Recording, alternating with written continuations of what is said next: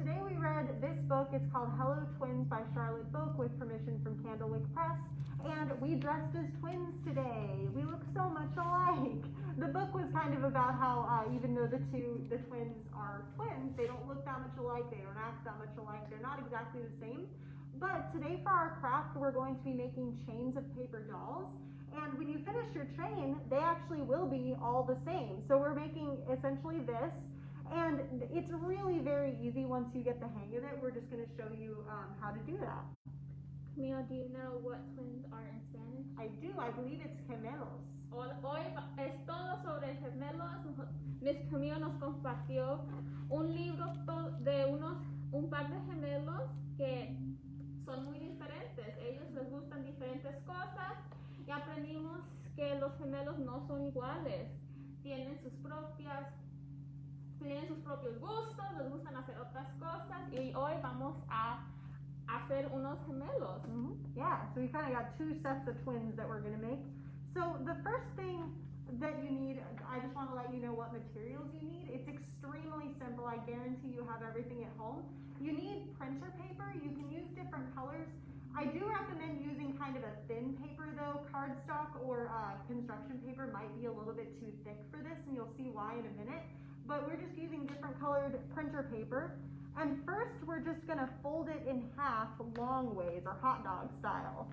Eh, los materiales para el programa son cosas que tienen en casa. Lo más importante es tener una hoja de papel uh -huh. que, que no sea tan gruesa porque vamos a doblar varias veces y vamos a recortar uh -huh. muchos detalles. Entonces es importante uh, usar un papel que sea un poquito delgado.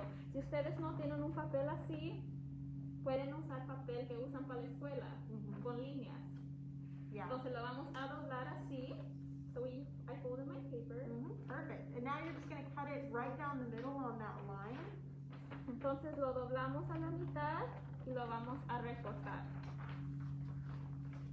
Because you want kind of a strip of paper. You don't want it to be too wide. Entonces, ya voy a estar recortando mi papel. Okay, so great. Cut it Perfect. now. Now you can set one of the pieces aside because you're only going to need one of them. And when you grab one of your halves of your sheet of paper, first fold it in half. Y lo doblamos otra vez. Así. That's right. And once you have it like this, fold it in half one more time. Entonces otra vez lo vamos a doblar. Así lo doblo. Mm -hmm. And we're just folding it to make creases. You're going to unfold it in a second here. Ya lo doblamos y lo vamos a desdoblar. Looks good. Yeah, we're going to unfold it. Perfect. Okay, so now you've got a piece of paper with three creases in it. And now you're going to start folding it accordion style from one end, kind of using these um, folds as, as a guide to tell you where to fold next. Entonces vamos a doblar en forma de acordeón. So, yeah. so you may want to kind of look at me for this, but you're going to fold one end in half towards that crease. Like this. Yes, perfect. Yeah. So you got your crease here and you're just folding that end towards that. And then fold it back. Like I said, we're folding accordion style and you just do that same thing all the way across.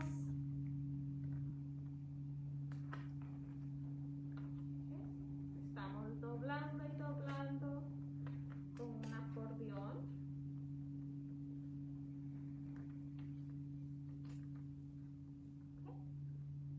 Cuando ya esté doblado se, se ve como así. Uh-huh, yeah. So you got kind of a thin strip. Okay, now lay, put it down in front of you so that the uh, the open edge is on your right side and the folded side is on the left.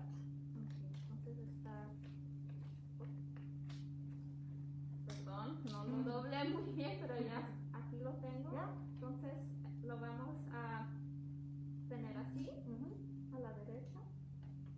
Okay. Perfect. So when the next thing you need to do is kind of draw half of a doll. So, for instance, let me show you on this. I drew it when I made this one. I drew this half of the doll. Half of the doll. Yeah. Entonces, en el papel vamos a dibujar la mitad de una muñeca o si quieren hacer un mm-hmm. muñeco. Yeah, it doesn't have to be like a girl in a dress. You can just do, you know, an arm and, and a leg. You don't have to do any particular clothing. You can do whatever you want with this. But on, you're gonna start drawing the top of the head on the side where the crease is. That's really important. So I'm gonna start drawing my little person. Ok, yo voy a, lo voy a dibujar y luego se los voy a enseñar.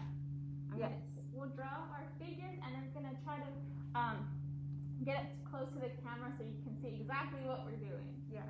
So, You also, it, so you can see how I did mine. I drew the head and then I, I stretched the arm all the way over to the loose side of the paper, the side of the paper that's not creased. And you do need it to go all the way over and make sure that it touches that side. See how I did that? it's okay, they look different because twins are different. Exactly. They don't have to be exactly the same. So yours is gonna look a little different. Yeah, mine. that's fine. I'm doing a little dress like I did originally.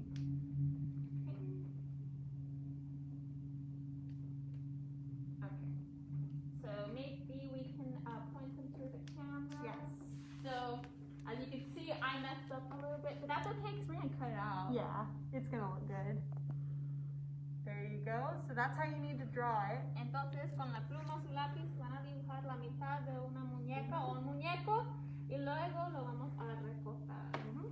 So now we get out our scissors and you just draw and you just cut around the black lines that you drew. Make sure you're not cutting like down the side that's creased. Uh, make sure and make sure that, like I said, that arm is touching the other side because that's how they're all gonna hold hands. You need to make sure that that's still connected. Ok, entonces lo más le vamos a mostrar de Camilo Yeah. so you can porque yo me voy a I did it. tardar demasiado para recortar esta muñeca. Entonces Camilo dibujó su, su muñeca y ahora lo está recortando. Yeah, and now is the part where if you're following along, you're gonna see why it's important that the paper be thin. Hold on, there you go. Cause it gets really hard to cut through, you know, eight pieces of paper if it's a really thick piece of paper. So you wanna use one that's kind of thin. Entonces es muy importante eh, escoger un papel, una hoja que no sea muy gruesa, porque como ven, estamos recortando mucho y, tiene, y lo doblamos varias veces y se les va a hacer muy difícil recortar esos pedacitos chiquitos. Yes, are we ready for the reveal? I'm ready, ¿están listos? ¡Wow! Perfect. ¿Cuántas muñecas tenemos? Tenemos cuatro. So we have four dolls. We have two sets of twins. We've got four dolls. Or a set of quadruplets, I guess. Yeah. Should we count them in English and Spanish? oh yeah, let's do it. Okay, vamos a contar juntos. We're gonna count in English and in Spanish. Mm-hmm. So, do you want to say it in English and then I'll say Yes, it in can you Spanish? can you point so I can hold the hold the end or yeah, or you can Ooh, there we go. All right, we've got one, Uno, two, dos, three, tres, four. cuatro. Perfect. Entonces, nuestras cuatro muñequitas. Thank you for sharing. Yeah, of so course. cute. And you can do this. You can do this type of thing, this ki- type of chain, with really anything that's symmetrical on the right and the left. That's like a mirror image. So, for instance, I made these that are birds. So I, I love doing these. I think they're really fun and they're really easy. And you can do it with lots of different things. It doesn't have to be dolls. You can do bir- birds. You can do like airplanes. Butterflies would be cute. Uh, there are lots of possibilities. Ustedes pueden, no tienen que recortar o dibujar una muñeca. Pueden hacer cualquier, cualquier otra forma que quieran hacer. Entonces, Miss Camilo, ella hizo unos pajaritos. Y sí, si ustedes lo hacen en casa, por favor de decirnos qué hacen ustedes en casa y si quieren um, tomarnos, tomarse una foto de lo que hicieron, nos pueden mandar a nosotros. Nos encanta ver lo que ustedes hacen en casa. Perfect. So we do have a, a goodbye song for y'all today, but I think first we have a couple of announcements. Tenemos unos anuncios. Entonces, cada semana les decimos que si quieren venir a la biblioteca a recoger um, uno de estos folletos. Um, every um, every week our same announcement is to please come to the library and pick up your program guide. Si no pueden venir a la biblioteca, los tenemos en línea. If you are unable to come to the library, we do have a PDF version of this. But it's important to have this because you have all the details and all the list of programs we have. Because this is bilingual song and story time, I want to invite you guys to our interactive Spanish for kids. So this program is on Zoom. It's free. It's on Saturdays um, till October 31st. So Saturdays at 11:30, you guys can learn Spanish, and it um, it is for ages 9 and 12. And we have art programs. We have math programs. We have so many cool programs for you guys. Tenemos muchos programas gratis que son en línea por Zoom y en Facebook. Entonces, si quieren, si quieren hacer parte de estos programas, por favor, de recoger uno, de estos folletos o visitar nuestra página de web. Yeah, so, and then of course, the announcement that I have every week is that at Shotwell Library, we do have, uh, pickup kits that are different crafts every week that you can just come inside and grab. And they are free, and like I said, different every week, so if you got, if you got this week's, for instance, next week's is gonna be something different.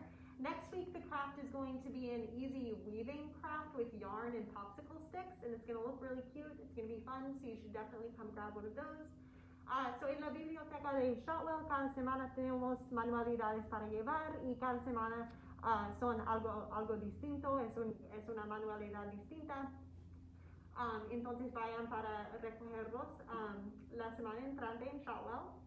And with all that said, I guess we can do our goodbye song. Sí, estamos listos para nuestra canción de despedida. All right. Adiós, amigos. Adiós, amigos.